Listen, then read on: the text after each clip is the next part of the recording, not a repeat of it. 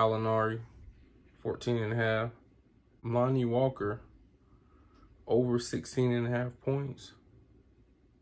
Over 24 and a half PRA. Over three and a half rebounds. The PRA 24 and a half over for Lonnie Walker is probably my favorite out of all plays tonight because I mean he's been hitting his mark with all the guys in that's out tonight for San Antonio. DeMar DeRozan, we all know he may be going for Jordan's Chicago record, but most, most consecutive games, 35 points or more. 40 and a half PRA for DeMar. Ja Morant going against the Bulls. I think this may be the best game of the night, uh, most competitive game. So I like Ja Morant over 27 and a half points, over five and a half free throws, over one and a half blocks and steals.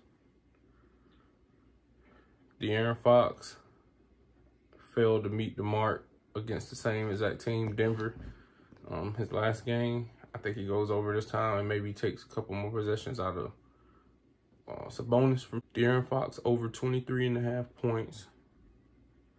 I like Sabonis over 20 and a half points, 38 and a half PRA, and five and a half assists, and 44 fantasy points over for Sabonis. Will Barton, same game, over 15 and a half P points. Will Barton, same game, over 15 and a half points, over 28 fantasy points. I like the over on Zach LaVine for 22 and a half points simply because I've never seen Zach LaVine at 22 and a half points. It's always been over that, like considerably so. Over on 24 and a half PRA for Jaren Jackson. No Levert. So I like the over on 20 and a half PRA for Lauri Markkanen. He's been going over even with those guys in. Also, uh, only game he has in, in the last five games was was when he got injured. And over four and a half rebounds. We got Vassell for San Antonio. Over 22 and a half PRA, self-explanatory. All those guys are out. We got Proto out. We got Murray out. We got Collins out. And we got Johnson out he's been getting close there, if not over, with those guys in. So I like the 22 and a half PRA for Vassell. Hopefully Popovich don't play some weird guys tonight who we've never seen. And uh, because I'll probably be going with the over on Lonnie Walker and Vassell just because of the the situation that's going on. But it could be a blowout and Popovich could play a bunch of nobodies. He he does stuff like that, and I just think it's time for him to hang it up. Duncan Robinson, if it becomes a blowout, definitely going over 12 and a half PRA. This guy's streaky, and when I say streaky, I don't mean the good way. Like, he has some of the worst games I ever seen in my life from an NBA player. Javonte Green from Chicago. 14 and a half PRA. It's dropped. It's normally at 16 and a half, sometimes 17 and a half. Um, since Zach LaVine came back, he hasn't really been doing what he was doing when Zach LaVine was out. But I think he can still hit this mark. Like I said, it's going to be a close game. Um, it's going to be a good game.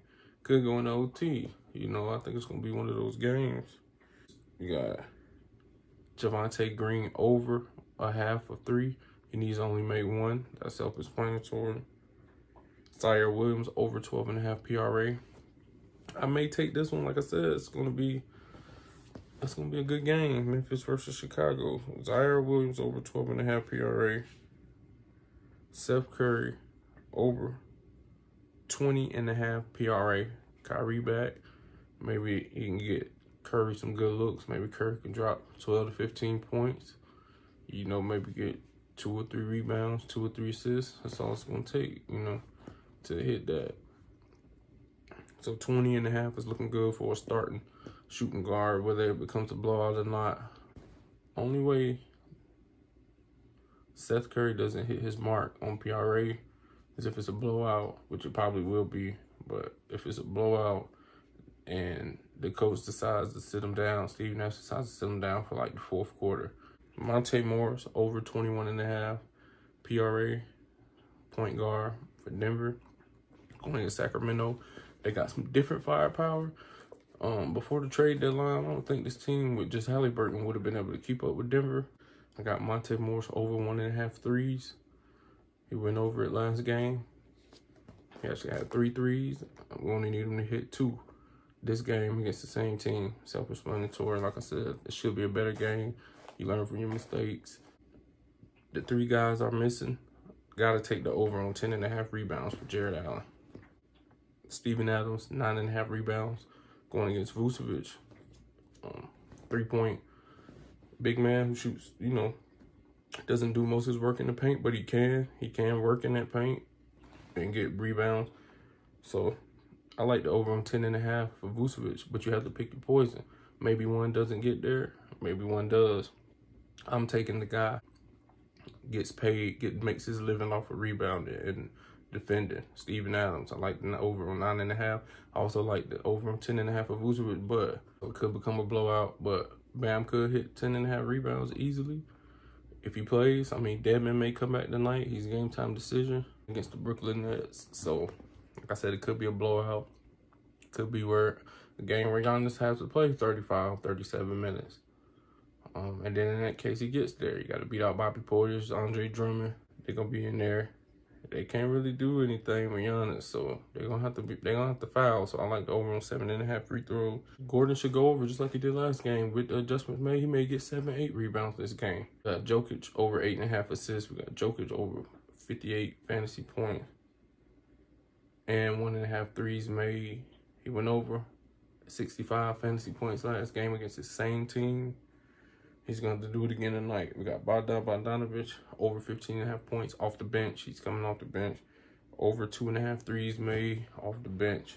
But with DeAndre, if DeAndre Hunter, he's game time decision. If he's ruled out, this is a lot for me. But if he's ruled in, I still like it, but it's not a lot, if that makes any sense.